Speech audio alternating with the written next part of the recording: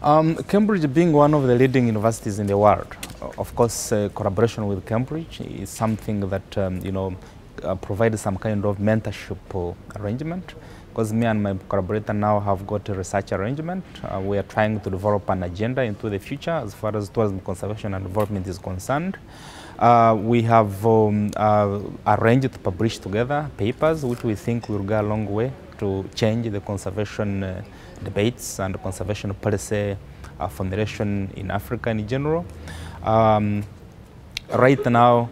uh, we are working together uh, and uh, we are going to have some kind of exchanges as far as, uh, you know, um, kind of um, students are concerned as well so that our program actually doesn't stop here, but then we have got further kind of engagements uh, so that we can be able to benefit from a bigger kind of uh,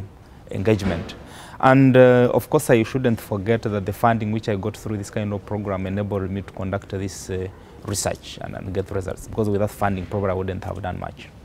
The future lo looks great because we're already planning on a bigger uh, book project where we want to bring together all the people that have done research on conservation and tourism as, as well as development in the region so that we can be able to put up together a book that will actually have a bigger impact on conservation and development